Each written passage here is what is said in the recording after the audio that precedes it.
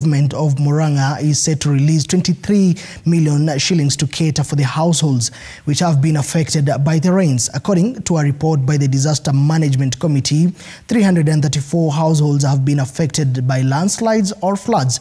with the areas of Idanga, Kandara, Keharo, Kangema and Mathioya being the most affected. Governor Irungu stating each of the affected families will get 50,000 Kenya shillings which will be disbursed in phases.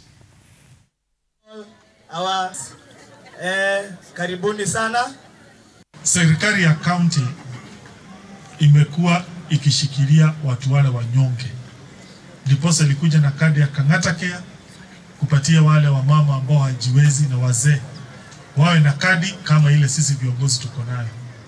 Ndiposa tulikuja na uji wa watoto, ndiposa tumekuja na inua mkulima ambayo ni kadi ya yule mtu wa chini kabisa, lakini tulipewa advice ya kwamba tumshikilie pia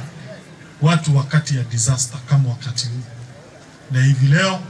yule mtu ambaye yuko hapa na amekuwa assessed by Red Cross atapata usaidizi kutoka kwa county government of Murang'a, tutamsaidia. La pili, hawa watu ambao tusaidia hapa lazima wawe wamekuwa assessed by Kenya Red Cross na pia na the police na pia by the provincial administration,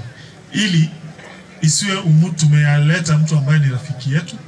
ama wamekuwa na njia ambayo si ya haki. Na tunawaombea familia ambao walipoteza wapendwa wao,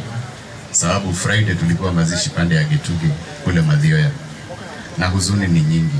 lakini tunaamini Mwenyezi Mungu anakuanga na mpango na kuna na mipango ya hizo familia, na sisi kama serikali ni kusaidia na kushirikiana na wale wamepata wamepatana na hili janga